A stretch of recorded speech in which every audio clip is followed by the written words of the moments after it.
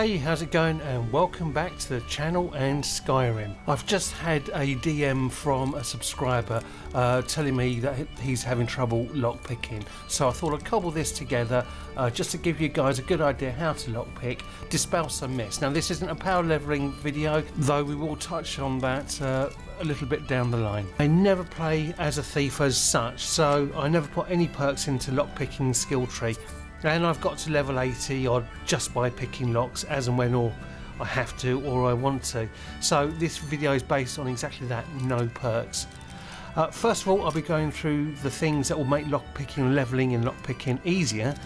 Then I'll show you how to lockpick and then we'll see if we can power level our way through lockpicking uh, by breaking locks uh, or breaking lockpicks.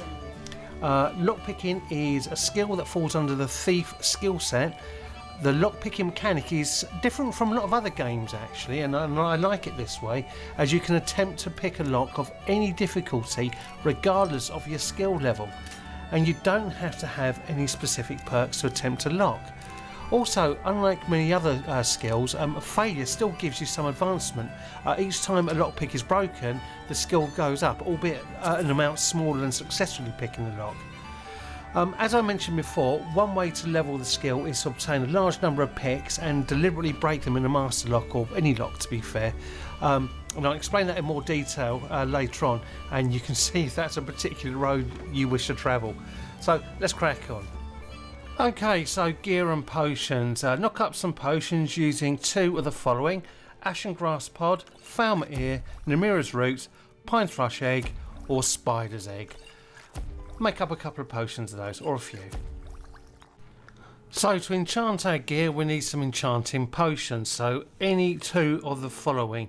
Blue Butterfly Wing, Snowberries, Ancestor Moth Wing, Chaurus Hunter Antennae, Hagraven Claw, Spawn Ash or Spriggan Sap. I always use Blue Butterfly Wing and Snowberries as they're the most common.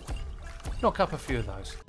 Okay, so now you're going to need to find, steal, beg, or borrow, or buy uh, an item with a lockpicking enchantment on it. So bring it to an arcane enchanter and disenchant it. You can enchant up to four different things with the, this enchantment. That's a hat, necklace, ring, gloves, or braces or gauntlets, that kind of thing. Always quick save before you enchant. Uh, so quick save, then take your potion, then start enchanting. Okay, I'll be doing all this at the Thieves Guild, but before we go there, we'll go to the Guardian Stones and hit up the Thief Stone, as that enhances our um, uh, progress by 20%, which is quite significant. I'm going to be using the Praxis chests at the Thieves Guild in Riften, and uh, can't tell you guys enough, do the Thieves Guild storyline, probably the best storyline in the game in my opinion. Anyway, Let's go Riften. Okay, there's a few schools of thought on lockpicking. Uh, some people go the through the clock through 12, 3, 6, 9, 12. Uh, some go by the hour, which I'm one of, and others go by the sound. So, what I'm going to do is a little experiment, and you can decide which way uh, you think is best. And uh, so, here, have a look at this. Okay, I'm going to put this to test. Uh, what I've done is the top one is where I've done it by the hour. Um, I've turned the sound down on that. I've left the sound up on the one where I'm actually looking for um, uh, just rotating it round and just going by sound only. Uh, now you have a little listen and see if you can actually hear anything that uh, would make you think that's where it is by sound alone.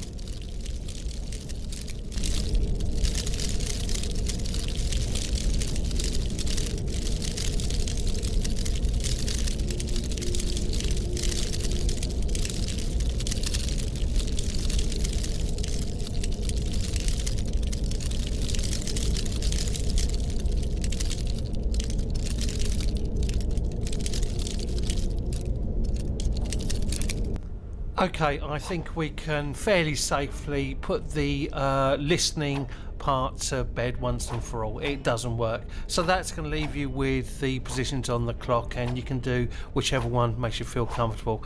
More often I do the hour, but sometimes do a combination of both. Um, anyway, so let's crack on and I'll show you exactly uh, how I do it. Now I'm using a PC. Uh, you console guys um, obviously have your own commands. Um, now I use the mouse key to uh, turn the uh, or move the pick up and down, and I tweak it with my A and D keys. So all I'm doing is moving my mouse up and then gently tapping my A or D keys. And when I get a little bit of give, just a little bit, I know I'm near the sweet pot. See, sweet spot. Uh, and then I'll move and adjust until I get more give, adjust again, get more give. There you go. Simple as that. And that applies for all locks, whatever their level, it doesn't matter. The principle's the same. Okay, we'll just do a, another quick demo.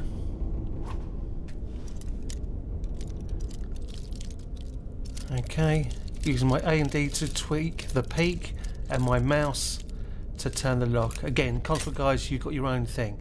Okay, so starting to give there. So I go to near where it was, and then I adjust a little bit further. Just a little bit further, a little bit further, and job done. That's it. That's all you have to do. Practice makes perfect. Now, master locks, that's something a little bit different, and we'll have a look at them now. Now, with master locks, the principle's exactly the same, except you have such uh, lack of forgiving in, in, in, the lock. So you're going to go through a lot of lock picks unless you get lucky. Um, but like I say, the principle's the same. Now, whatever you do, if you don't have many lock picks, always quick save before you start lock picking a master lock. And this is when your gear and potions really come into its own. Now, I got a little bit lucky on this one. Um, sometimes you can go through a whole heap of uh, picks just trying to find that sweet spot. But anyway, there you go. We'll have a look at the gear now. Okay, let's get our gear on. And as I said before, I mean, I've enchanted this to quite a high level. I mean, 52%, and it stacks as well. It, it, it's ridiculously good. Um, and you may not have quite as high level gear as this. However, it doesn't matter. It, it helps. It really makes a difference.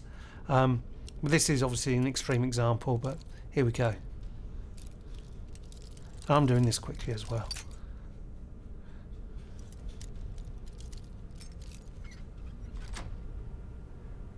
There you go, Bosch. That's the difference your, your, your gear makes. Now, let's have a look at just using a potion on its own.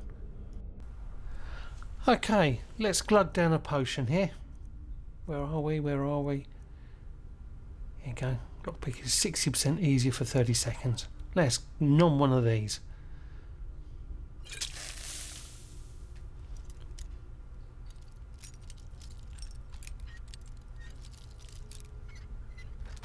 There you go.